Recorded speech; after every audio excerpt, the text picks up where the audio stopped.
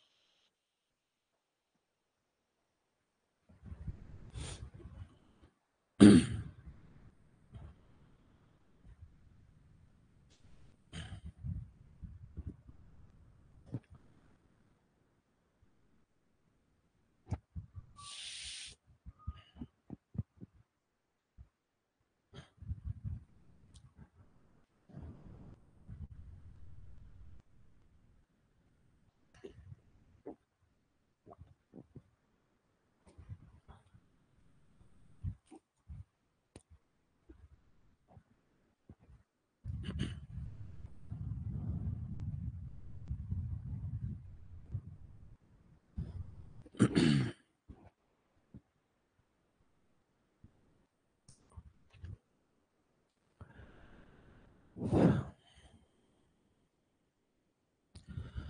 hi welcome back to Udaan digital Udaan digital के online platform पर आप सभी छात्रों का एक बार फिर से हार्दिक स्वागत है। दिव्यांश क्लास लगी है तभी आप कमेंट कर पा रहे हो, ठीक है? परम, मन, विनय, ठीक है?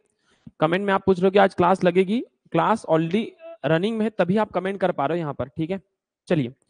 तो हम लोगों ने लास्ट दो क्लास में अरिथमेटिक प्रोग्रेशन को बहुत अच्छे से समझा है। हमने वहाँ पर एक्सरसाइज कवर नहीं की तो हमने बहुत अच्छे से चीज़ों को समझ लिया है। अब हम लोग एक्सरसाइज पर जा सकते हैं। जितने भी बच्चे ये कमेंट अगर कुछ बोलना चाहे तो बोल सकते हैं। माही, कुछ बोलना चाह रहे हैं आप?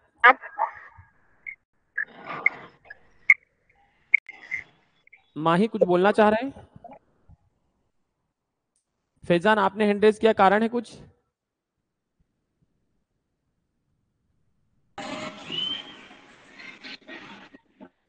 हाँ आप सभी से एक रिक्वेस्ट है कि हैंडरेज आप तभी करें जब आपको कोई डाउट हो या कुछ पूछना हो। मैं रिपीट कर रहा हूँ। एक हैंडरेज का ऑप्शन आपके पास है। उसको हैंडरेज करने का मतलब है कि आप वॉइस कॉल के थ्रू मुझसे कनेक्ट हो जाओगे। तो आप लोग हैंडरेज तभी करें जब आपको कुछ पूछना हो।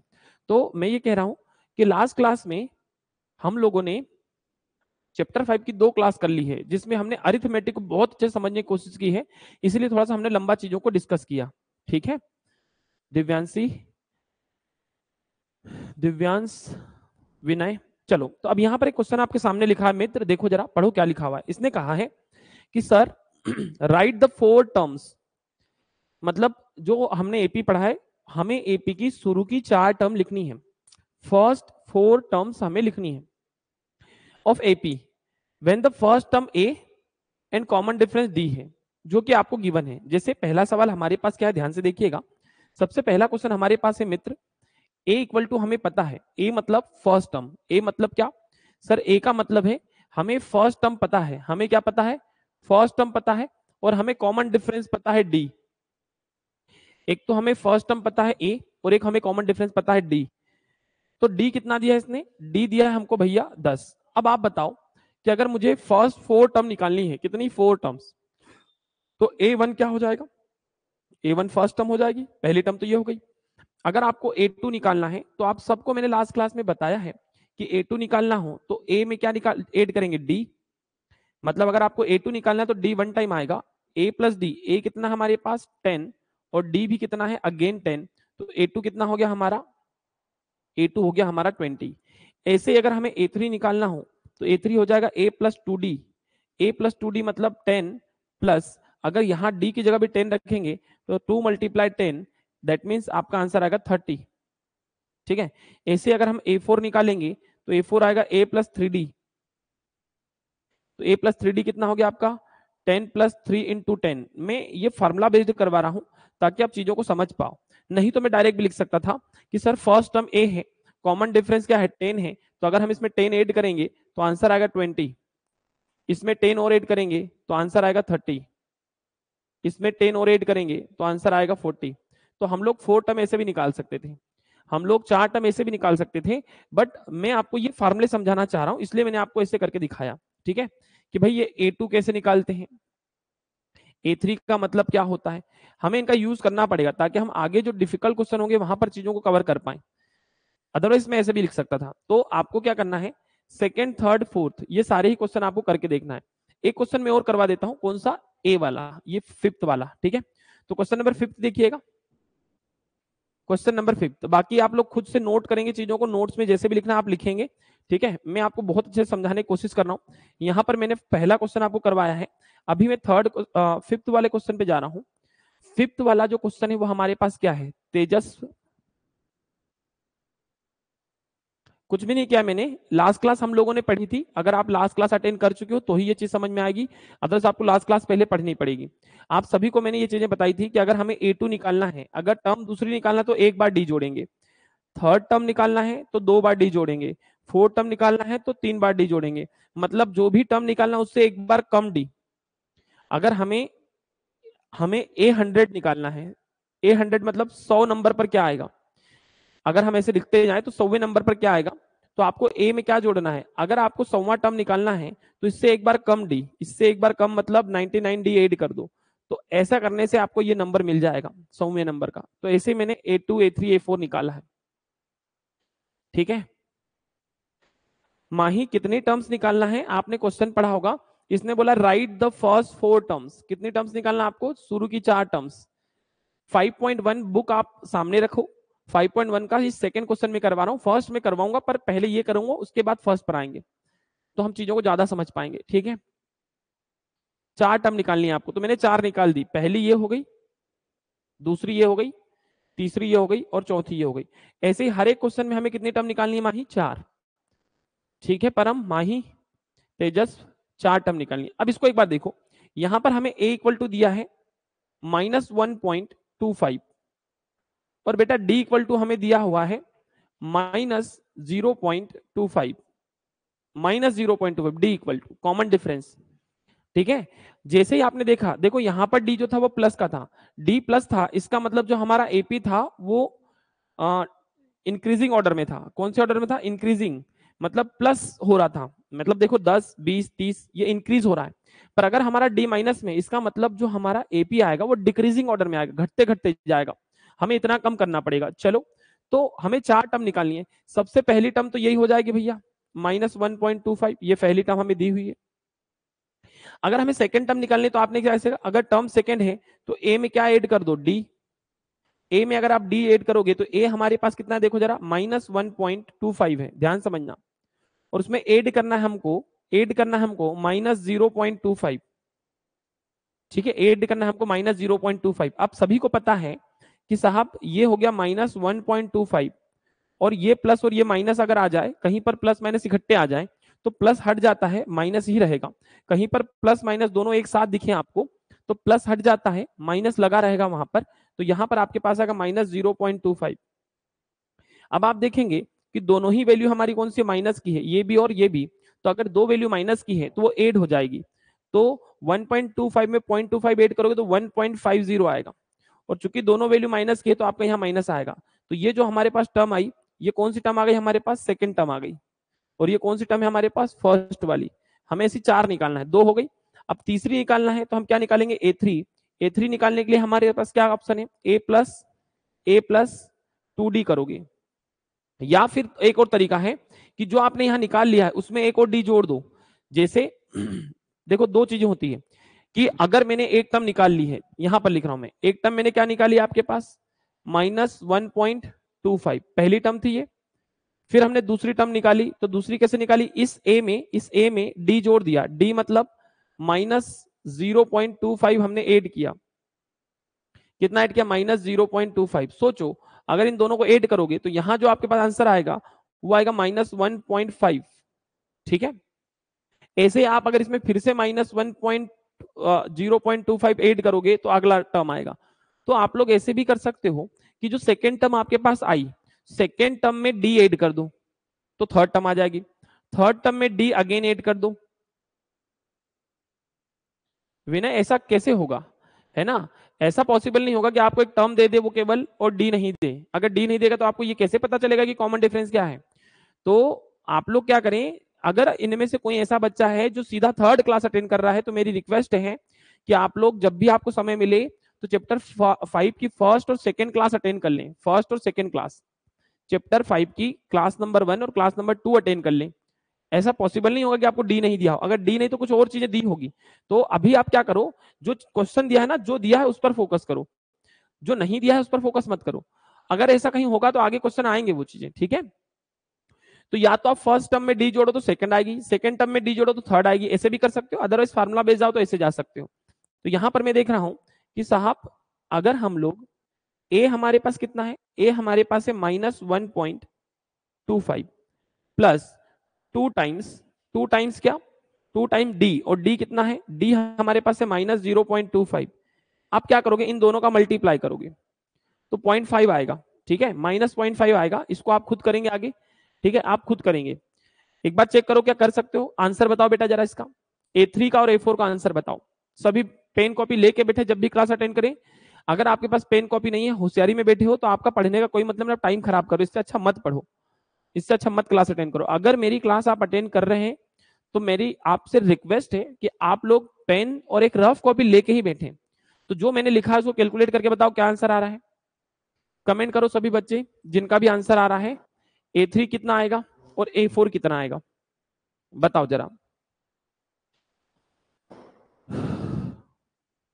Very good Divyanshi minus one point seven five आएगा ए थ्री और ए फोर आएगा माइनस टू ठीक है? वेरी गुड ए थ्री आएगा minus one point seven five और ए फोर आएगा माइनस टू मतलब पॉइंट टू फाइव कम होते जा रहा है। Very good Divyansh Dikshansh Tejas point two five कम होते जा रहा है। ठीक है? माही, क्या समझ आया हमको? इस क्वेश्चन की अगर हम बात करें तो हमें क्या समझ में आया? वेरी गुड सर हमें एक नंबर दिया था 1.75 माइनस में। Sorry minus one point two five हमें दिया था। ये एक नंबर था। हमारे पास डी था। वो था minus zero point two five. अगर हम इसमें ये डी एड करेंगे तो ये आ जाएगा। अगर ये हमारा ए है और ये हमारा डी है तो अगर हम ए प्लस डी करेंगे तो ए टू आ जाएगा। तो ए टू कितना आएगा? माइनस वन पॉइंट फाइव अब अगर इसमें हम फिर से ऐड करेंगे डी मतलब minus zero point two five तो हमारे पास आएगा minus one point seven five ये हमारा तीसरा टर्म आ गया। इसमें फिर से हम अगर ऐड करेंगे minus zero point two five तो हमारे पास माइनस टू आएगा। तो ये हमारा फोर टर्म हो गई। तो यही हमारी चार टर्म हो गई। इन्हीं चार टर्म को निकालने का तरीका क्या था? ये हमारा ए था और ये डी था। तो यहाँ हम क्या करेंगे? ए प्लस डी करेंगे तो हमें ये मिल गया। और देखो, हमने ए प्लस डी ही तो किया था। जब हमने ए टू निकाला था तो हमने ए प्लस क्या किया था? डी किया था। और जब हमने ए थ्री निकाला था तो ए प्लस टू डी किया था। क्यों किया था? देखो जरा। ए थ्री जब हमने निकाला था, ये हमारा ए टू है। ठीक है? ये हमारा ए थ्री है। तो जब हमने ए थ्री निकाला तो क्या होगा? सर, यहाँ से यहाँ और यहाँ से यहाँ। मतलब हमें डी कितनी बार जोड़ना पड़ेगा? यहाँ से यहाँ आएँगे और यहाँ से यहाँ। मतलब इस ए में एक ये वाला डी और एक ये वाला डी तो अगर आपको ए पर पहुँचना है तो आपको ए में मतलब पहली वाली टर्म में कितनी बार डी जोड़ना पड़ेगा? एक बार, दो बार। तो यहाँ पर हम टू डी लिखते थे। ये ए थ्री निकाला था। फिर अगर हमें ए फोर निकालना है, ये हमारा ए फोर है तो अगर हमें यहाँ आना है, यहाँ से फ़र्स्ट वाली टर्म से फोर्थ वाली पे आना है तो d plus d plus d, कितनी बार डी जोड़ना पड़ेगा? हमें ए में जोड़ना पड़ेगा थ्री टाइम डी ए में कितनी बार डी जोड़ना पड़ा? तीन बार। यहाँ से ए से, इस ए में क्या जोड़ेंगे? D plus d plus d तो जब हमें ए फोर निकालना होगा तो थ्री डी जुड़ेगा। ए थ्री निकालना तो टू डी जुड़ेगा।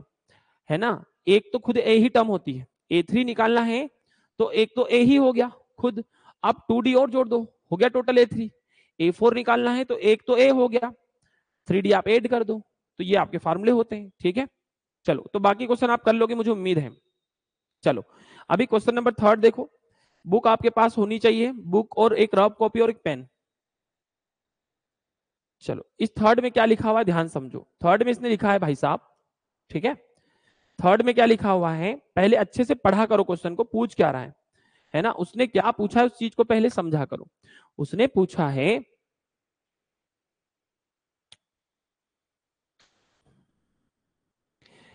देखो, एक बार ट्राई करो। अगर नहीं आएगा तो मैं समझाऊँगा। ठीक है? फ़र्स्ट का फोर्थ वाला?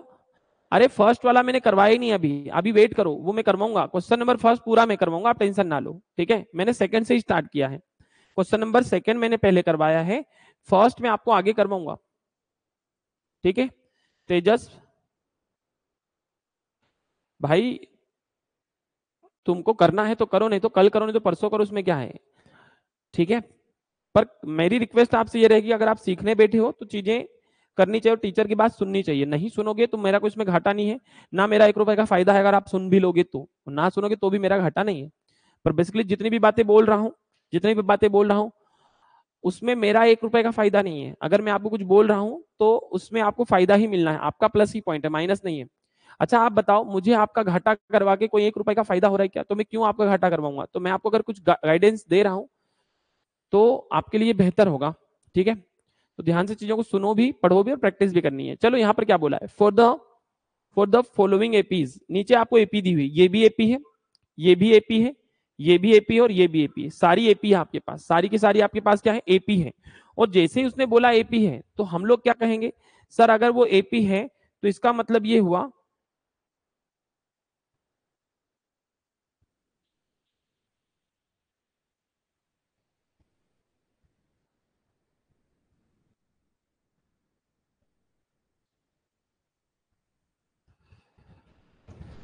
है ना? इसका क्या मतलब हुआ कि ये सब एपी है? और एपी हम किसको कहते हैं? सर, जिसकी टर्म्स में कॉमन डिफरेंस सेम होना चाहिए। कॉमन डिफरेंस सेम होना चाहिए तो ही एपी होगा। अब ये एपी है, इसका मतलब इनका जो डिफरेंस है वो सेम आएगा। वन में से थ्री माइनस करो माइनस वन में से वन को माइनस करो माइनस थ्री में से वन को माइनस करो। तो ये आपका एपी है, ये सब एपी है। किन्हीं भी दो कंस्ट्रक्टिव टर्म को आप डिफरेंस निकालोगे ना किन्हीं भी दो कंस्ट्रक्टिव टर्म्स का डिफरेंस निकालोगे तो सेम आएगा। अब उसने क्या बोला? आपको यहाँ पर फ़र्स्ट टर्म और कॉमन डिफरेंस निकालना है। देखो, पहले वाले सवाल में तुम्हें ए दिया था। पहले वाले सवाल में तुम्हें ए की वैल्यू पता थी और डी पता था। तो तुम लोगों ने एपी निकाल दिया। अभी हमें एपी दिया है। हमें ए निकालना और डी निकालना है। तो पहला क्वेश्चन को आप देखोगे। पहला क्वेश्चन हमारे पास ये रहा। तो फ़र्स्ट टर्म क्या होगी दिख रहा है हमको। फ़र्स्ट टर्म जो हमारे पास है ए बराबर। कितनी है? तीन है। अगर हमें कॉमन डिफरेंस निकालना है तो कॉमन डिफरेंस क्या होगा? कॉमन डिफरेंस ठीक है? कॉमन डिफरेंस डी बराबर होता है ए टू में से आप ए वन को माइनस कर दो। ए टू में से ए वन को माइनस कर दो, या फिर देखो ए थ्री में से, या तो आप ऐसे भी कर सकते हो। ए थ्री में से ए टू को माइनस कर दो, एक ही बात है। या तो ए फोर में से ए थ्री को माइनस कर दो, एक ही बात है। मतलब पीछे वाली टर्म में से आगे वाली टर्म को माइनस करने पर डी आता है। जैसे मान लो कि मेरे पास इसी कोई चार टर्म है। कितनी टर्म है? चार। एक, दो, तीन और चार। अगर मुझे डी निकालना है तो मैं, मान लो ये ए है, ये बी है, ये सी और ये डी है। तो अगर मुझे कॉमन डिफरेंस निकालना है तो ये माइनस करो, या इसमें से इसको माइनस करो, या इसमें से इसको माइनस करो, आपका जो कॉमन डिफरेंस आएगा वो सेम आएगा। अगर ये एपी है तो अगर ये एपी है तो। तो ये तो एपी सारी है तो कॉमन डिफरेंस आपने निकाल लिया होगा, ठीक है? माइनस टू तो वन में से वन में से हम माइनस करेंगे थ्री को। अगर वन में से थ्री माइनस करोगे तो आंसर आएगा आपका माइनस टू तो यही आपका कॉमन डिफरेंस हो गया। तो ऐसे ही आपको सारे क्वेश्चन में निकालना है, ठीक है? ऐसे ही आपको सारे के सारे क्वेश्चन इसमें भी इसमें भी और इसमें भी। अगर यहाँ पर हम ए देखें तो ए तो देखो ए क्या होता है फ़र्स्ट टर्म तो ये ए है, यहाँ पर ये ए है। क्लियर बात? हमें केवल कॉमन डिफरेंस निकालना है। और यहाँ पर ये ए है। अगर मैं सेकेंड क्वेश्चन की बात करूँ तो सेकेंड क्वेश्चन में कॉमन डिफरेंस क्या आएगा? डी बराबर। ए टू ए टू क्या है हमारे पास? A two minus a one तो ए टू हमारे पास कितना है? माइनस वन ये फार्मूले का माइनस और ए वन की जगह अगेन माइनस फाइव है। बस ये गलती मत करना आप। ये ए टू का वैल्यू है, ये माइनस फार्मूले का है, और ए वन की जगह माइनस फाइव अगेन आ रहा है। फिर से माइनस फाइव आ रहा। है तो ये हो जाएगा माइनस वन और ये दोनों माइनस मिलके क्या हो जाएगा? प्लस फाइव प्लस फाइव में से वन माइनस करेंगे तो आंसर क्या आएगा? फोर तो यहाँ पर जो एपी है वो फोर आ रहा है। इसका मतलब हमारा एपी बढ़ता बढ़ता जा रहा है। देखो, बढ़ते बढ़ते जा रहा है। माइनस से प्लस में आ गया और प्लस से फिर बढ़ते जा रहा है। तो डी अगर माइनस में आता है कभी, अगर आपका डी का वैल्यू माइनस में आता है तो इसका बेटा ये मतलब है कि आपका जो एपी होगा ना, वो कम कम होते जा रहा होगा। और अगर डी प्लस का आता है तो इसका मतलब है कि जो वैल्यू है वो ज़्यादा ज़्यादा होती जाएगी। क्लियर तो बाकी आप कर लोगे, कुछ नहीं करना है। इस फाइव बाई थ्री में से माइनस करना है वन बाई थ्री को डी आ जाएगा। इस 1.7 में से माइनस करना है 0.6 को तो डी आ जाएगा। ये क्वेश्चन नंबर थर्ड था आपका। कंप्लीट आप कर लोगे। ठीक है, आगे बढ़ते हैं। नेक्स्ट अब यहाँ पर आपसे क्या पूछा है? क्वेश्चन नंबर फोर में मैं दो क्वेश्चन केवल आपको करके बताऊँगा, बाकी आप खुद करेंगे। है ना? चीज़ों को समझो और खुद से करो, अच्छे से प्रैक्टिस होनी चाहिए आपकी। चलो, देखो क्या लिखा हुआ है। Which of the following are AP सबसे पहले उसने बोला है कि जो नीचे जो दी गई है, वो क्या वो एपी है? If they form an AP यदि वो एपी हो तो find the common difference d and the write more terms आगे की दो टर्म और निकालो। तो पहले तो ये पता करो कि क्या ये एपी है? क्या ये एपी है? तो हम लोग करेंगे क्या? अगर ये एपी होगा तो a two minus a one a two four a one two तो आंसर हमारा टू आया। फिर a three minus a two third term में से सेकेंड टर्म थर्ड टर्म में से सेकेंड टर्म माइनस करो थर्ड ईयर है सेकेंड ईयर है तो एट माइनस फोर फोर आएगा। तो आप यहाँ पर देखो, ये कॉमन डिफरेंस सेम नहीं आ रहा है, जबकि एपी में हमेशा कॉमन डिफरेंस सेम आता है। और यहाँ पर हम देख रहे हैं कि सर ये टू और फोर इक्वल नहीं है। Two is not equal to four दो और चार बराबर नहीं है। इसका मतलब common difference are not same common difference are not same common difference same नहीं है.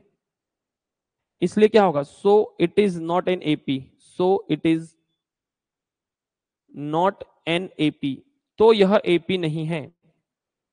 ठीक है? और एपी नहीं है तो आपको कुछ निकालना भी नहीं है. अगर एपी होता तो हम आगे के टर्म फाइंड करते. देखो जरा यहाँ पर. A two minus a one a two है five by two minus a one है टू तो आपका आंसर आएगा वन बाई टू क्या आंसर आएगा? वन बाई टू करके देख लो आप। फिर ए थ्री में से माइनस करोगे ए टू ए थ्री में से माइनस करोगे ए टू ए थ्री क्या हमारे पास? ए थ्री हमारे पास बेटा थ्री तो आपने थ्री में से माइनस किया फाइव बाई टू थ्री में से फाइव बाई टू माइनस तो वन बाई टू आएगा। यहाँ तक सेम आ रहा है, इसको भी करो। ए फोर में से माइनस करो a three. Seven by two में से माइनस करो थ्री। तो फिर से आंसर आएगा वन बाई टू। तो यहाँ पर हमने क्या देखा कि जो कॉमन डिफरेंस वो सेम आ रहा है। कॉमन डिफरेंस क्या आ रहा है? सेम। तो आप लिख दोगे सो दैट इज़ इसका क्या मतलब हुआ? That is it is an AP it is an AP यह एक एपी है। और अगर ये एपी है if they if they form an AP अगर ये एपी है तो find common difference in first term for more three terms तो हमें कॉमन डिफरेंस तो मिल गया। अब मोर थ्री टर्म्स निकालनी है मतलब हमें आगे की भी दो टर्म पता करनी है एक यहाँ की और एक यहाँ की। तो आप क्या करोगे?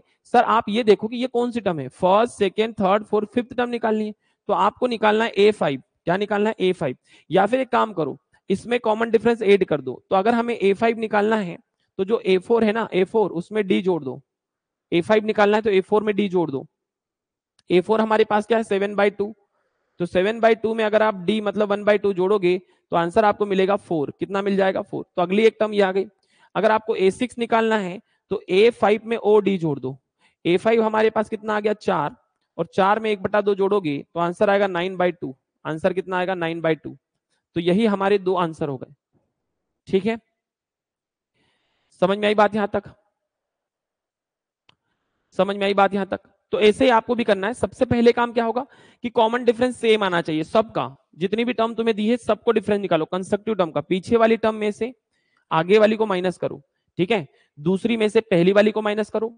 तीसरी में से दूसरी वाली को, चौथी में से तीसरी वाली को। सारे आंसर सेम आना चाहिए।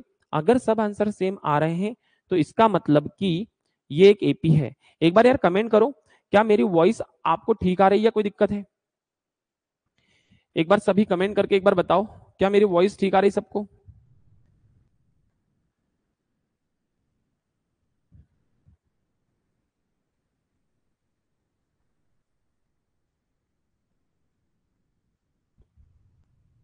हम्म। ठीक है।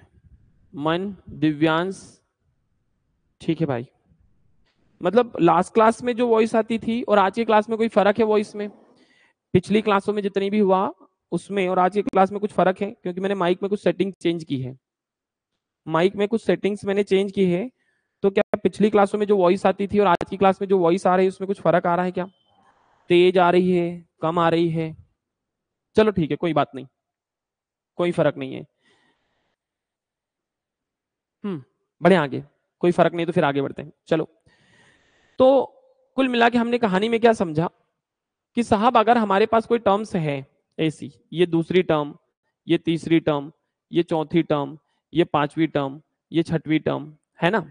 और मान लो पहली टर्म हमारे पास ए है, ये ए टू है, ये ए थ्री है, ये ए फोर है, ये ए फाइव है, ये ए सिक्स है, ऐसे ही आगे भी है। तो देखो, यहाँ पर एक बात समझो ए सिक्स निकालने के दो तरीके आपके पास। ए सिक्स निकालने के आपके पास दो तरीके हैं। दोनों में से जो भी चीज़ें आप दोनों ही सही मानोगे। अगर मुझे छठवां टर्म निकालना हो, ठीक है चलो, अगर मुझे छठवां नंबर निकालना है तो एक तरीका तो ये है कि सर, अगर मुझे ये पांचवा पता हो, है ना, अगर ये पता हो तो इसमें हम केवल क्या करेंगे, ये डी एड कर देंगे। एक कॉमन डिफरेंस जो है वो एड कर देंगे, ठीक है? अगर मुझे ये पता हो तो मैं इसमें डी जोड़ूँगा तो ये आ जाएगा। पर अगर मुझे ये पता हो, जिसे मैं यहाँ पर लिख सकता हूँ ए फाइव प्लस डी एक ही बात है। या तो मेरे पास एक तरीका और है कि मैं उस पहले वाली टर्म में कितनी बार डी जोड़ दू? पाँच बार डी जोड़ दू। देखो, यहाँ से ये पता है तो यहाँ से यहाँ आने में केवल कितना जोड़ना पड़ेगा? डी।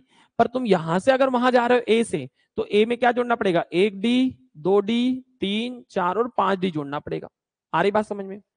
ऐसे ही सोचो, अगर मेरे पास ए थ्री पता हो, मुझे ए थ्री पर से जाना हो ए सिक्स पर, मुझे ए सिक्स निकालना है थ्रो ए थ्री के। ए थ्री के थ्रू मुझे ए सिक्स पर जाना है। तो अगर ए थ्रू के ए थ्री के थ्रू जाऊँगा तो यहाँ से मुझे कितना चलना पड़ेगा? एक डी दो डी और तीन डी तो आप इसमें थ्री डी एड कर दोगे। हाँ या ना? मतलब ये जो है और ये ये दोनों मिलके इसके बराबर आना चाहिए। जैसे ये डी एक था तो पाँच और एक छह हो गया। देखो यहाँ पर ये एक है और ये हो गया तो पाँच और एक छह हो गया ऐसा। तो ये आपको समझ में आ गया होगा, ठीक है? अच्छे से क्लियर हुई होगी बातें, क्योंकि हमने ऑलरेडी इसको इतना समय दे दिया। दो लेक्चर दे दिए मैंने इस टॉपिक को। थ्योरी में ही पहले ही लेक्चर में इतना समझा दिया आपको कि यहाँ पर आपको दिक्कत नहीं आनी है। इन सब में आप कॉमन डिफरेंस निकालोगे, कहीं पर अगर कॉमन डिफरेंस नहीं निकले तो आप मुझे बताओगे। ठीक है? चलो, एक दो क्वेश्चन फिर हम इसमें कर लेते हैं ताकि आपको थोड़ा सा नॉलेज बने। बताओ, क्या ये एपी है? इसको चेक करो। रूट वाला एक सवाल। क्या ये एपी है? तो अगर ये एपी है तो हम कैसे चेक करेंगे? सबसे पहला काम हमारा होगा ए टू में से हम क्या माइनस करेंगे? ए वन ठीक है? ए थ्री में से क्या माइनस करेंगे? ए टू ए फोर में से क्या माइनस करेंगे? ए थ्री और ये सारे ही आंसर आपके बराबर आना चाहिए, ठीक है? अगर ये सारे आंसर आपके बराबर बराबर आ रहे हैं तो इसका ये मतलब हुआ कि ये एक एपी है, ठीक है? इसका ये मतलब हुआ कि ये एक एपी है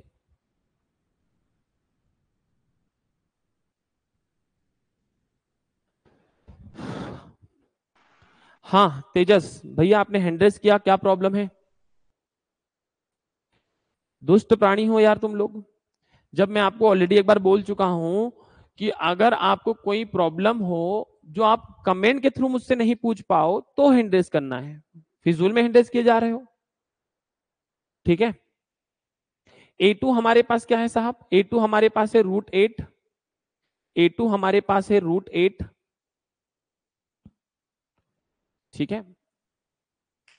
माइनस रूट टू अब देखो, कोई भी बच्चा अगर आंसर ऐसे लिख रहा है कि एट माइनस टू सिक्स होता है तो भैया तुम बेहतरीन वाले हो, तुम निहायती हो। क्लास नाइन्थ में थोड़ा बहुत भी सीखा होता तो ऐसे नहीं करते। तो यहाँ सिक्स नहीं आएगा। आप इसको सिंप्लीफाई करोगे। पहले आप रूट से चीज़ों को बाहर निकालोगे। रूट एट का मतलब होता है two root two root eight का मतलब होता है टू रूट टू कैसे भाई साहब? ऐसे। एट मतलब two multiply two multiply two, ये जोड़ा बन के बाहर आएगा तो टू रूट टू आएगा। तो जो एट है वो इसके बराबर होता है, ठीक है? माइनस में लिखा है रूट टू। अब आप खुद सोचो, टू टाइम रूट टू में से वन टाइम रूट टू कम करेंगे तो वन टाइम रूट टू बचेगा। तो ये आपके पास कॉमन डिफरेंस आया। अब दूसरी टर्म में देखो, क्या यहाँ भी एपी बराबर आ रहा है? तो मैंने लिखा root eighteen, minus root eight, और रूट एटीन का मतलब क्या हो जाएगा? रूट एटीन का मतलब हो जाएगा, रूट एटीन का मतलब हो जाएगा, two multiply three multiply three. तो ये थ्री बाहर आ जाएगा तो थ्री टाइम्स रूट टू आया। तो इसका मतलब ये टू टाइम रूट टू था, ये थ्री टाइम रूट टू था। तो ये थ्री टाइम रूट टू में से अगर आप two time root two minus करोगे तो तुम्हें नहीं लगता कि वन टाइम रूट टू बचेगा?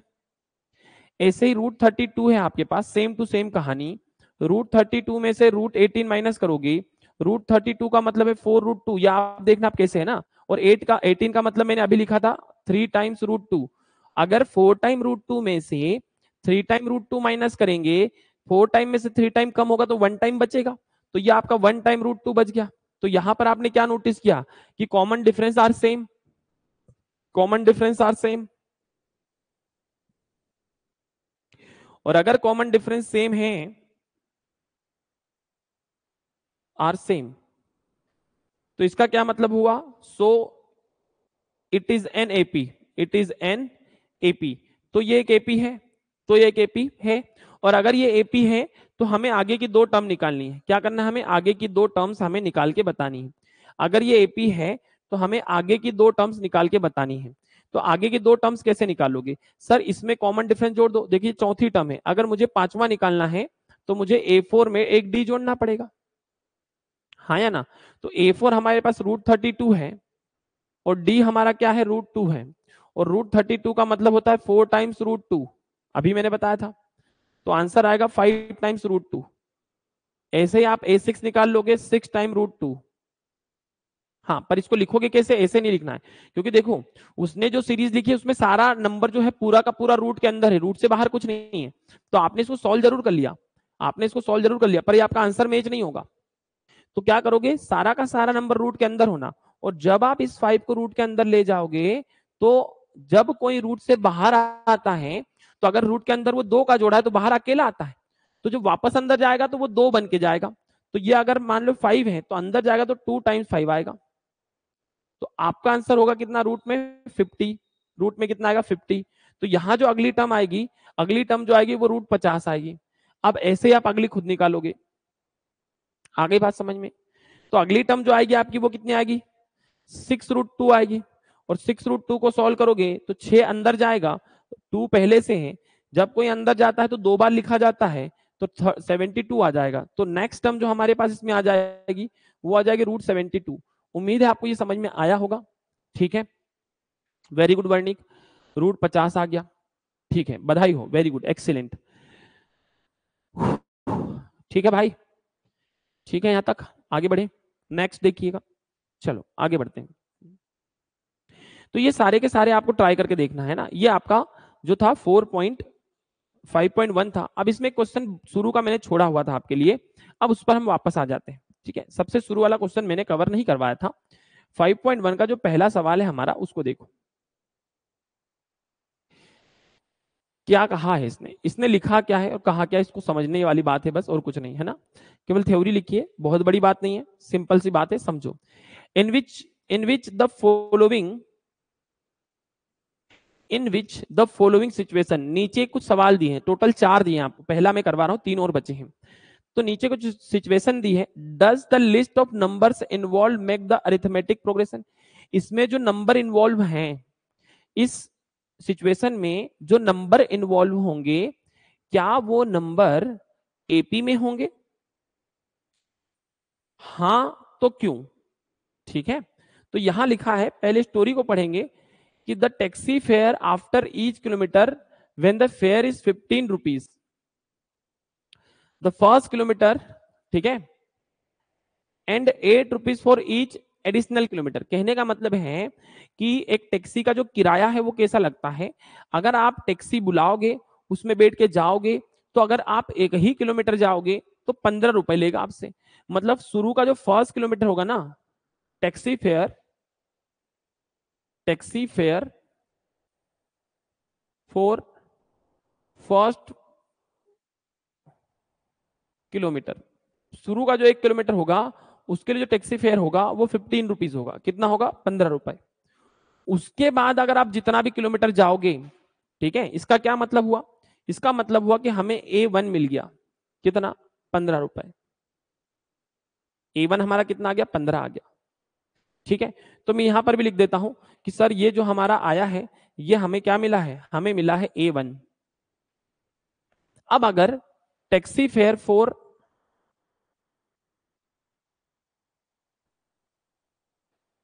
two kilometre. अगर हम दो किलोमीटर जाएँगे तो पैसा कितना लगेगा? तो सोचो ना, अगर आप दो किलोमीटर जाओगे तो पंद्रह रुपए तो एक किलोमीटर के। पंद्रह रुपए तो शुरू के एक किलोमीटर के होंगे। उसके बाद आप एक किलोमीटर और गएँगे तब जाके दो किलोमीटर हुआ होगा। तो उसके बाद अगर आप एडिशनल जाओगे तो उसमें आठ रुपए लगेगा आपको। उसके बाद जितने भी किलोमीटर तुम चलोगे, उसमें कितना लगेगा आपको? एट रुपीज़ लगेगा। तो आपका आंसर कितना आएगा भैया? ट्वेंटी थ्री रुपीज़ हो गया। तो हमारा सेकेंड टर्म हमारा क्या आ गया? सेकेंड टर्म हमारा आ गया ट्वेंटी थ्री ठीक है? ऐसे ही अगर हम थर्ड टर्म की बात करें तो taxi fare for taxi fare for three kilometre अगर तीन किलोमीटर जाओगे तो तीन किलोमीटर का पैसा कितना लगेगा? सर ट्वेंटी थ्री में एट और एड कर दो। तो आंसर आपका आएगा थर्टी वन रुपीज़ तो हमारा थर्ड टर्म कितना आ गया? थर्टी वन तो अब आपको नहीं लग रहा है कि ये जो है, ये जो है, वो एक एपी है? तो इसमें जो नंबर इन्वॉल्व है, number involve, number involved involved, ये लिखने का तरीका यही होना है ना? ये जो लिखने का तरीका है ना, ये आपको कॉपी करना है, अच्छे से लिखना है आपको। तो इसने बोला था कि इसमें जो नंबर इन्वॉल्व होंगे, क्या वो एक अरिथमेटिक प्रोग्रेशन बना रहे हैं? तो हम लिखेंगे number involve in given situation, जो भी गिवन सिचुएशन थी, उसमें ये नंबर इन्वॉल्व थे है ना? और ये नंबर इन्वॉल्व थे हमने इनको देखा। तो यहाँ पर हमने ध्यान से जब देखा तो इनमें कॉमन डिफरेंस क्या आ रहा है? सेम आ रहा है। तो आप यहाँ पे लिखोगे common difference are same common difference क्या है? सेम है सब में।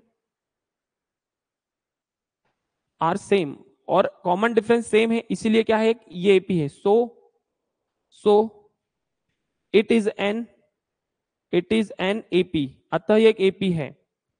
अतः एक एपी है। ऑफ़ कॉमन डिफरेंस कितना है इसका? एट ये एक आठ कॉमन डिफरेंस वाली एपी है। मतलब इसका जो कॉमन डिफरेंस आ रहा है, वो आठ आठ आते जा रहा है, आठ आठ रुपए बढ़ते जाएँगे। तो सिचुएशन को पढ़ के ही समझ में आता है ना आपको कि सर यहाँ पर हर किलोमीटर में आठ रुपए बढ़ जाएँगे। मतलब आठ प्लस आठ तो आगे जितना आप जाओगे, उतना आठ प्लस होते जाएगा। दैट मीन्स कॉमन डिफरेंस आपका वो जो बराबर आ रहा है। कॉमन डिफरेंस क्या आ रहा है? बराबर। तो ये आपका लिखने का तरीका होगा। तो आप लोग, आपकी मेन कॉपी जो होगी नोट्स होगा, उसमें आप ऐसे लिख सकते हैं, ये रहा आपका सोल्यूशन ठीक है? पहले वाले सवाल का सॉल्यूशन 5.1 क्वेश्चन नंबर फ़र्स्ट का सॉल्यूशन ठीक है? मन। वर्णिक, चलो। कॉपी आप कर लेना। अदरवाइज़ ये नोट्स भी पीडीएफ फ़ाइल जो नोट्स फोल्डर है हमारा, उसमें है। तो नोट्स फोल्डर में आपको लेक्चर थर्ड में ये मिल जाएगा। ठीक है? चैप्टर नंबर फाइव के। चलो, आगे बढ़ते हैं। सेकेंड क्वेश्चन देखो, यहाँ पर सेकेंड वाला क्या है?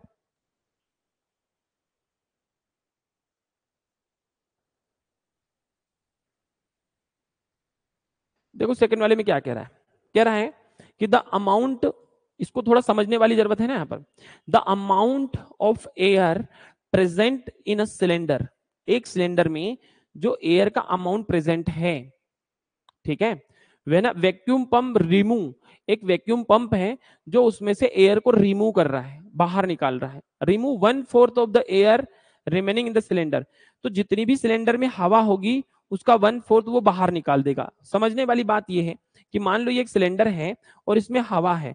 फॉर एग्ज़ाम्पल मान लीजिए कि इसमें चौसठ हवा है। कितनी है? चौसठ। तो एक बार अगर वैक्यूम पंप चलेगा तो इसमें से हवा बाहर निकालेगा। कितनी? वन फोर्थ सोचो, अगर चौसठ में से चौसठ का वन फोर्थ हवा बाहर निकाल देगा, बाहर निकाल देगा तो कितनी बाहर गई? सोलह एयर बाहर गई। कितनी बाहर गई? सोलह। वन फोर्थ बाहर गई है चौसठ में से। ठीक है? इतनी एयर गई। तो रिमेनिंग कितनी बचेगी? सर, पहले चौसठ थी, उसमें से वन फोर्थ मतलब चौसठ का one fourth sixty four one fourth of sixty four क्या हो जाएगा? सोलह, ये कम हो गई। तो बचेगा कितना साहब? बचेगा आपके पास फोर्टी एट इतनी हवा अभी भी रिमेनिंग होगी। इतनी हवा अभी भी उसमें रिमेनिंग होगी।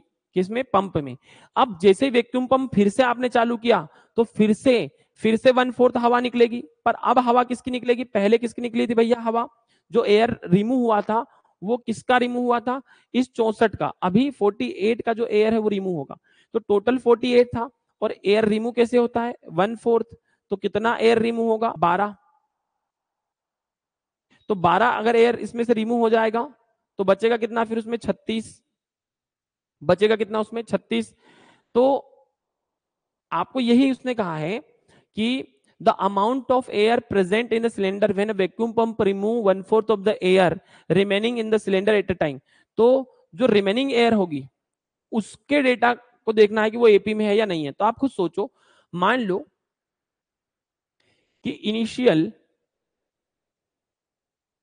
एयर इन सिलेंडर मान लिया कि शुरू में सिलेंडर में कितनी हवा थी? वो थी वी वॉल्यूम वी मान लिया मैंने इसको। अब जितनी भी उसमें हवा थी तो क्या होगा? ए वन आपका कैसे आएगा? ध्यान समझना, है ना? यार बेटा, एक बात ध्यान से समझना।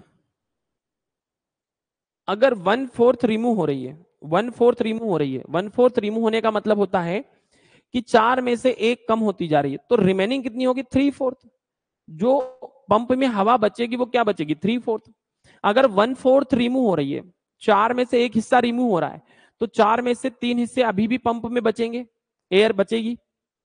तो आपको यहाँ पर रिमेनिंग एयर निकालनी है। तो remaining air in cylinder cylinder में जो एयर रिमेनिंग होगी, वो क्या होगी? ठीक है? तो जो भी उसमें वैक्यूम था जो भी उसमें वॉल्यूम था, उसका वन फोर्थ रिमूव हो गया। जो रिमूव हो गया, उसको छोड़ो। आप वन फोर्थ निकालोगे, माइनस करो, उससे अच्छा है कि थ्री फोर्थ निकाल लो। वन फोर्थ रिमूव हो गया तो जो रिमेनिंग होगा, वो थ्री फोर्थ होगा। ऐसे ये हमारा क्या आ गया? इसी को हम बोलेंगे ए वन। क्या बोलेंगे? ये हमारे पास आ गया a one. One fourth remaining होगी। ए वन आ गया। मैं फिर रिपीट कर रहा हूँ। वन फोर्थ रिमूव होने का मतलब होता है थ्री फोर्थ रिमेनिंग बचना।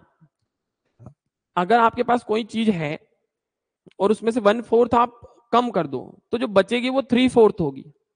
ठीक है? तो रिमूव होने वाली हो गई, उसको छोड़ो। जो निकल गई, उसको छोड़ो। जो बची, उस पर ध्यान दो। तो बची कितनी है? थ्री फोर्थ अब इतनी हवा पंप में है तो फिर अगेन हम करेंगे सॉल्व एक बार। अगला टर्म देखेंगे, अगर फिर से वैक्यूम पंप चलता है तो again remaining air in the cylinder दूसरी बार में। तो दूसरी बार में क्या होगा? सर इतनी हवा पंप में थी। इतनी तो थी। इतनी पहले अब थी। इतनी है अब उसमें। और इतनी बची हुई है। देखो पहले इतनी थी फिर रिमूव हो गई इतनी बची।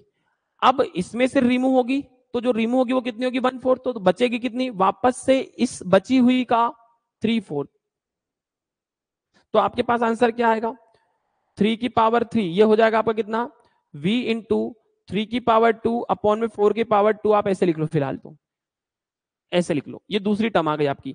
ऐसे आप अगर तीसरी टर्म की बात करोगे ए थ्री की तो अभी पंप में हवा कितनी बची है? ये वाली। V two three upon four की पावर टू ये पंप में हवा बची हुई है। अब वापस से वही कहानी। अगर वन फोर्थ रिमूव होगी तो फिर से थ्री फोर्थ बचेगी। तो जो है हवा, उसका थ्री फोर्थ अभी जो उसमें एयर है, उसका थ्री फोर्थ बचेगी। ये रिमेनिंग है। तो आपके पास आंसर आएगा v into three upon four की पावर क्या? थ्री अब आप कुछ सोचो कि दैट इज़ आपके पास जो टर्म आई दैट इज़ जो टर्म्स आई वो क्या आई? एक था v, फिर था आपके पास थ्री वी अपॉन में फोर फिर तीसरा है आपके पास थ्री थ्री अपॉन में फोर का होल स्क्वायर इंटू वी फिर चौथी टर्म आपके पास क्या आई? एक मिनट हाँ। A one a two a three मैंने मिस्टेक किया, ये ए टू था, ये शुरू का ए वन था, ये ए थ्री था और ये ए फोर था, ठीक है? शुरू वाला ही एक तो जो शुरू में थी वो ए वन था। मैंने ए वन यहाँ लिख दिया था a one a two a three a four तो ए थ्री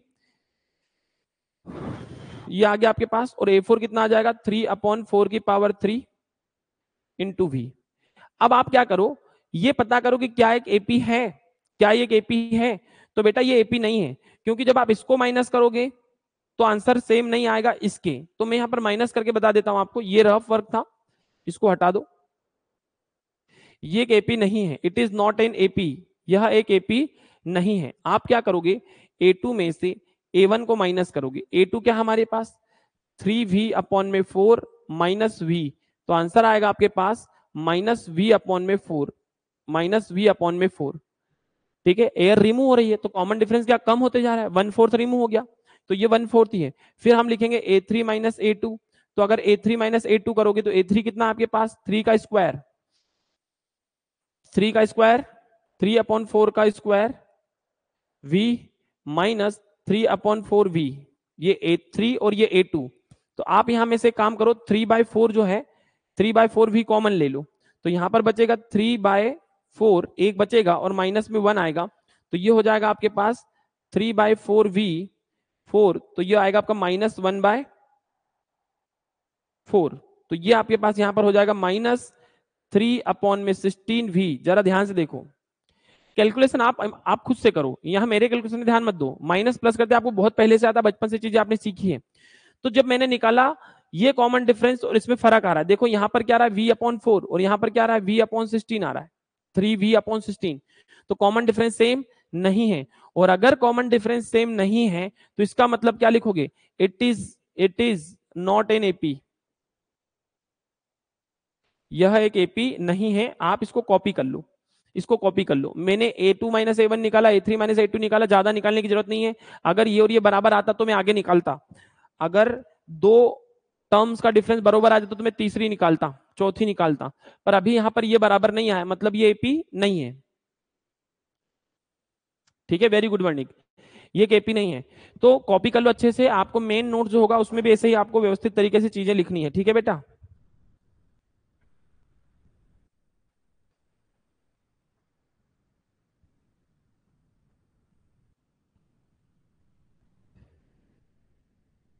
माही, सूरज, परम, है ना? चीज़ों को साथ में नोट भी करते चला करो. आपको ऑफलाइन की तरह चीज़ें समझनी पड़ेगी, पढ़नी पड़ेगी, तब चीज़ें समझ में आएगी. हाँ क्या कह रहे हो बेटा एक बार?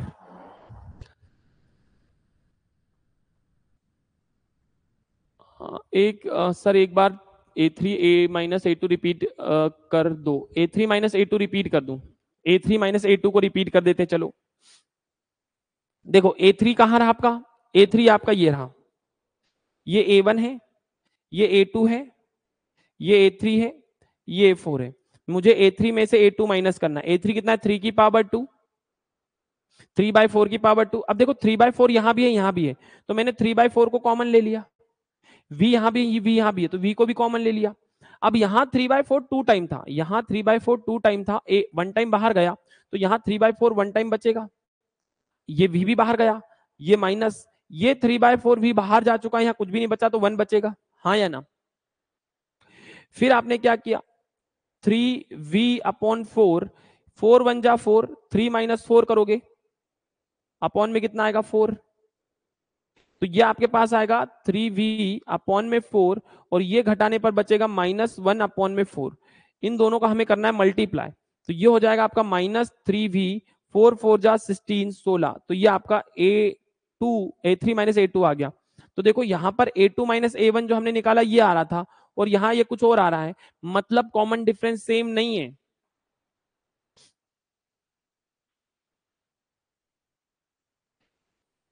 चौसठ मैंने क्या लिया था ना?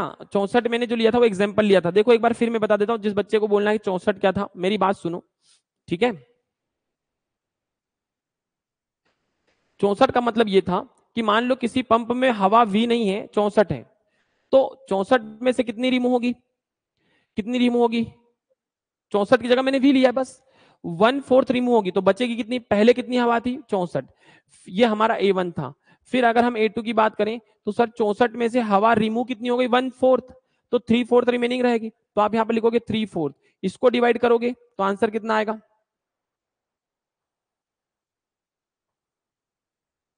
सोलह.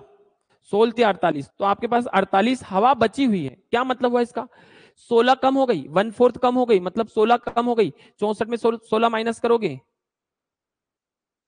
तो अड़तालीस आ जाएगा। अब ये आपके पास बची है। पंप में ये हवा बची है और जैसे तीसरी बार पंप चालू होगा तो जो हवा बची है, उसमें से वन फोर्थ रिमूव होगी। तो बचेगी कितनी? थ्री फोर्थ अभी भी यह हवा उसमें पंप में बची होगी। तो यहाँ पर आपके पास आएगा थर्टी सिक्स। तो अभी पंप में एयर कितनी थर्टी सिक्स है। फिर थर्टी सिक्स का जो रहेगा वन फोर्थ फिर से रिमूव होगा। तो बचेगी कितनी? थ्री फोर्थ तो ये नाइन टाइम्स डिवाइड होगा, ये ट्वेंटी सेवन अभी भी बची है। तो ये हमारे पास आ गया कि पहले पंप में हवा इतनी थी, फिर एक बार पंप चला, उसके बाद इतनी बची, फिर पंप चला, फिर इतनी बची, फिर पंप चला और इतनी बची। आप सोचो, क्या इनका डिफरेंस सेम आ रहा है? नहीं आएगा। यहाँ पर डिफरेंस 16 का है, यहाँ पर डिफरेंस 12 का है और यहाँ पर डिफरेंस 9 का है। तो ये कॉमन डिफरेंस सेम नहीं आ रहा है। और जब कॉमन डिफरेंस सेम नहीं आएगा तो वो एक एपी नहीं है। पर यहाँ पर मैंने इस चौसठ को लेके चल रहा हूँ। यहाँ मैं चौसठ लेके चल रहा हूँ। यहाँ पर मैंने चौसठ की जगह क्या लिया है? वी लिया है। क्योंकि मुझे क्वेश्चन में ये गिवन नहीं है कि उसमें एयर थी कितनी। तो आप लोगों को ज़्यादा सुटेबल तो यही है, पर अगर तुम्हें क्लियर नहीं हो रहा तो आप इसकी जगह चौसठ लिख के भी काम कर सकते हो। क्योंकि हमने वो माना हुआ है। माना कि पंप में इनिशियल हवा कितनी थी, हमें पता नहीं तो हमने वी लिख दिया। अदरवाइज़ आप 64 लिख दो कि, सर, मान लिया हमने कि उसमें इतनी हवा अगर हो तो बचेगी कितनी? क्लियर बात यहाँ तक? वेरी गुड ठीक है? इसको आप कॉपी कर लें अच्छे से।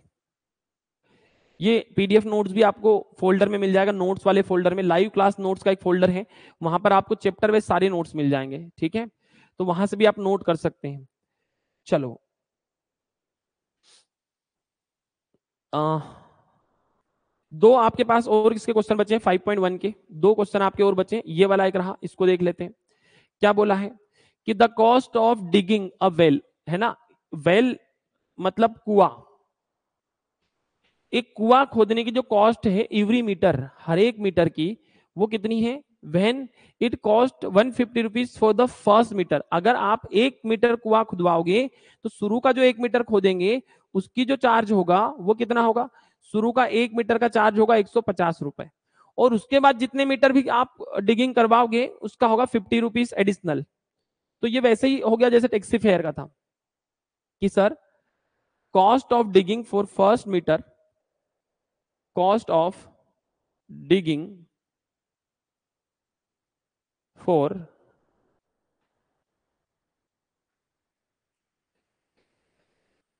first metre एक मीटर की जो कॉस्ट है वो कितनी है? डेढ़ सौ रुपया है। डेढ़ सौ रुपया।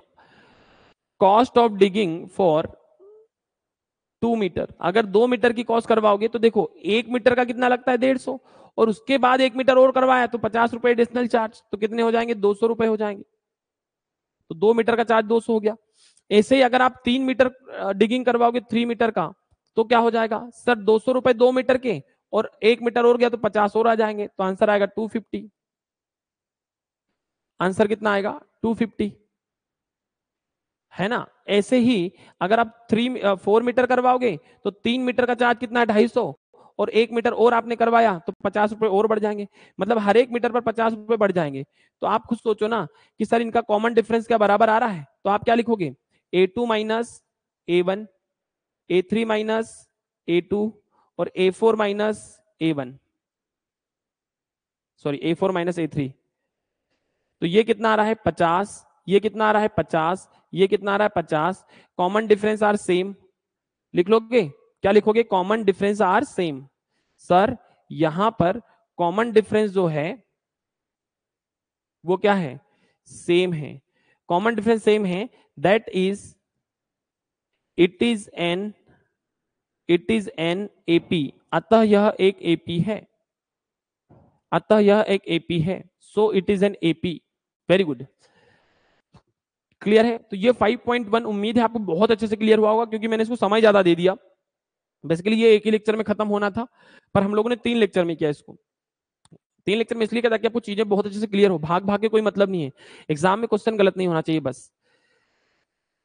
चलो, एक और आपका बचा हुआ है कंपाउंड इंटरेस्ट वाला। हम्म। क्या लिखा हुआ है? ध्यान दो इधर। इसने बोला है कि the amount of the money of money in the account every year when ten thousand is deposited at the compound compound interest का मतलब क्या होता है ना? कि आपको हमेशा ब्याज दस हज़ार का नहीं मिलेगा। जैसे आपने दस हज़ार जमा की बैंक में, एक साल बाद वो हो ग्यारह हज़ार। तो फिर ग्यारह हज़ार पर आपको इंटरेस्ट मिलेगा। फिर आपके हो गए तेरह हज़ार मान लो, दो साल में। तो फिर आपको तेरह हज़ार पर तीसरे साल में ब्याज मिलेगा। आपके मान लो हो गए सोलह हज़ार। तो चौथे साल में सोलह हज़ार पर ब्याज मिलेगा। जबकि आपने इनिशियल कितना जमा किया था? दस हज़ार। पर आपको ब्याज क्या मिलेगा? कंपाउंड कंपाउंड का मतलब कि आपको ब्याज पर भी ब्याज दिया जाता है और कंपाउंड इंटरेस्ट क्या है? एट परसेंट पर एनम कहने का मतलब है कि आपने the amount of money in the account every year तो पहले साल में मनी कितनी थी अकाउंट में? सर पहले साल में था हमारा कितना पैसा? अकाउंट अमाउंट ऑफ़ मनी पैसे की, की मात्रा या पैसा। धन कितना था शुरू में? फॉर फ़र्स्ट ईयर में। फ़र्स्ट ईयर में हमारे अकाउंट में हमने जमा किए कितने? दस हज़ार। दैट मीन्स जो ए वन आया डेटा पहला डेटा जो एंट्री हुआ, वो दस हज़ार का हुआ कि भैया आपकी डायरी में दस हज़ार रुपए जमा है। पहला डेटा जो एंट्री हुआ, वो कितने का हुआ? दस हज़ार रुपए का हुआ। पहला डेटा दस हज़ार रुपए का एंट्री हुआ। फिर जब आपने सेकेंड ईयर देखा amount of money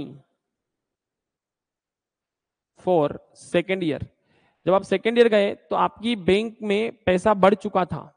अब कितना हो गया था? तो बैंक में आपका था कितना? आपका था दस हज़ार। पर बैंक वालों ने तुमको ब्याज दिया। कितना ब्याज दिया?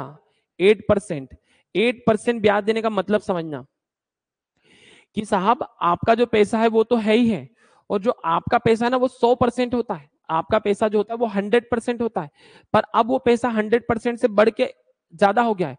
तो कितना बढ़ गया है वो? Eight percent. मतलब जो आपने जमा किया था ना, जो आपने जमा किया था वही सौ परसेंट होता है। आपको कंपनी ने एक साल में ब्याज दे दिया कितना? आठ परसेंट। तो अब आपका पैसा कितना हो गया? एक सौ आठ परसेंट। तो जो भी बैंक में आपका पैसा था, वो बढ़ के हो गया है वन हंड्रेड एट परसेंट। कितना हो गया है? वन हंड्रेड एट परसेंट हो गया है। तो अब आपकी बैंक खाते में इतना पैसा होगा। कैलकुलेट करोगे, इसको काटोगे इसको काटोगे तो आपके खाते में अब होगा दस हज़ार आठ सौ रुपए। Ten thousand eight hundred rupees अब आपके खाते में होगा, क्योंकि आपको इंटरेस्ट मिल गया एट परसेंट का। तो वो एट परसेंट जुड़ गया ऑटोमेटिकली आ गया इसमें। वन हंड्रेड एट परसेंट का मतलब ये हुआ कि आपका एट परसेंट ऑलरेडी इंक्लूड हो चुका है इसमें। आपको एट परसेंट अलग से निकालना है। बहुत सारे हो सकता है, कहीं पर क्लास में आपको ऐसे भी बता सकते हैं कि दस हज़ार आपके जमा थे, आठ परसेंट आपका ब्याज बना तो आपका ब्याज कितना हो गया तो बोले आठ सौ रुपए। मतलब बैंक में आपके आठ सौ ब्याज है और दस हज़ार आपके हैं, फिर वो जोड़ेगा दस हज़ार में, तब आठ हज़ार, दस हज़ार आठ सौ आएगा। तो आप क्या करोगे? सीधा 108 परसेंट निकाल दोगे। 108 परसेंट का मतलब क्या हुआ? कि मेरा मूलधन भी इसमें आ गया और ब्याज भी आ गया। आ रही बात समझ में? ए टू वेरी गुड इस टेन थाउज़ेंड इसको ऐसे भी निकाल सकते थे कि, सर, मेरा बैंक में इतना रुपया है तो मेरा इंटरेस्ट कितना बनेगा? इंटरेस्ट बनेगा एट आपने काटा तो इंटरेस्ट कितना आया? आठ सौ। कहने का मतलब अब मेरा बैंक में पैसा कितना हो जाएगा? सर, मेरे दस हज़ार रुपए थे और 800 मेरा एक साल का इंटरेस्ट हो गया तो अब मेरा है दस हज़ार आठ सौ। पर आप ऐसे मत करो। ये देखो ना, बहुत माथा बच्ची है। आपने आठ परसेंट निकाला, फिर उसको एड किया। तो आप सीधा क्या करो? आप सीधा निकालो 108 परसेंट। वन परसेंट तो आपका था ही उसमें बैंक में। 100 परसेंट तो आपका पैसा ही था बैंक में। आपने 8 परसेंट उसको इंक्रीज कर दिया। अब अब आपके बैंक में कितना पैसा है? इतना। तो amount of money in third year क्या हो जाएगी? थर्ड ईयर में तो आपका पैसा बैंक में था कितना लास्ट ईयर लास्ट ईयर आपका पैसा हो गया था इतना। और ये आठ परसेंट फिर से बढ़ जाएगा। मतलब 108 परसेंट आपको फिर से मिलेगा। इसको काटोगे इसको काटोगे और 108 का मल्टीप्लाई 108 में करेंगे तो आंसर आएगा एक सौ सोलह, चौसठ। ठीक है? चेक करना। 108 का मल्टीप्लाई 108 में करेंगे तो आंसर आएगा एक सौ सोलह, चौसठ। तो सेकेंड ईयर आपका पैसा इतना हो गया। अब आप चेक करो ना सर ये हमारा ए वन ये ए टू ये ए थ्री तो अगर आप ए थ्री में से ए टू को माइनस करोगे ए टू में से ए वन को माइनस करोगे तो बेटा यहाँ पर आंसर मिलेगा आपको 800 इसका डिफरेंस 800 है। पर बेटा इसका डिफरेंस आठ सौ चौसठ रुपए आ रहा है। क्या ये कॉमन डिफरेंस सेम आ रहा है? अगर कॉमन डिफरेंस सेम नहीं आ रहा है तो आप क्या लिखोगे? That is it is it is not an AP यह एपी नहीं होगी। यहाँ पर एपी नहीं है। यहाँ पर जो हमारा पैसा है, वो बराबर हर साल नहीं बढ़ रहा है। कम ज़्यादा होते जा रहा है। ठीक है? तो it is not an AP उम्मीद है, ये आज की क्लास आपको समझ में आएगी एक बार कमेंट करो। क्या आपको आज की क्लास में जितना भी समझाया गया, सब कुछ क्लियर हो गया है? अगर कुछ थोड़े बहुत हल्के फुल्के डाउट लग रहे तो एक बार क्लास को रिवाइज कर सकते हो। फिर भी अगर डाउट रह जाए तो आप कल के क्लास में रिविजन करवा सकते हो। मतलब कुछ चीज़ें आपको पूछनी तो आप पूछ सकते हो। एक बार कमेंट करेंगे, सभी को चीज़ें क्लियर है? वेरी गुड वर्णिक दीक्षांश ठीक है भाई। तो एक बार देख लेते हैं एट द एंड कितने बच्चे हमसे जुड़े हुए हैं? तो संस्कृति पवार, दिव्यांश मनीषा, मन परम विनय, माही दीक्षांश और वर्णिक। ठीक है? चलो वेरी गुड एक्सीलेंट ठीक है भाई? तो बाय बाय गुड नाइट कल की क्लास में फिर मिलते हैं और कल हम डिस्कस करेंगे 5.2 एक्सरसाइज 5.2